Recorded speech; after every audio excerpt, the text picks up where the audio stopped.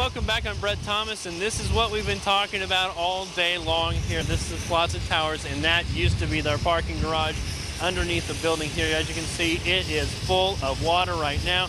There's a trash bin right there. They weren't able to get out of the way before the water rose too high. Another trash bin right here, and you see this big pipe running up to one of the biggest water pumps you'll ever see.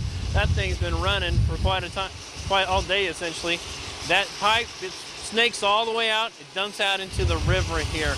The reason why they're doing that, obviously, is because they have so much water in here. But if you'll uh, take a look, I've got kind of a low-tech explanation here for you. This is that flood wall we've been talking about all this time that rings Grand Rapids, essentially.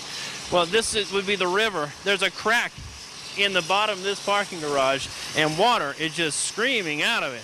It's all coming in because there's so much pressure here. Water coming here, groundwater, it's all basically being pushed down and pushed back up and filling it up. Well, the idea is they're going to let that water stay about this level because they want to be able to equalize the river water with the water in the basement so it'll help fortify this flood wall. So they're going to keep pumping water out, but only so fast that they don't draw it all the way down until the river comes down. And when the river goes down, they'll start drawing water out down here. We got this kind of situation going on at several other uh, hotels and big buildings in Grand Rapids. Obviously, see something we're going to continue to follow. We'll let you know any new developments. Stay with us. Our next newscast is at 11 o'clock tonight, 10 o'clock on WXSP.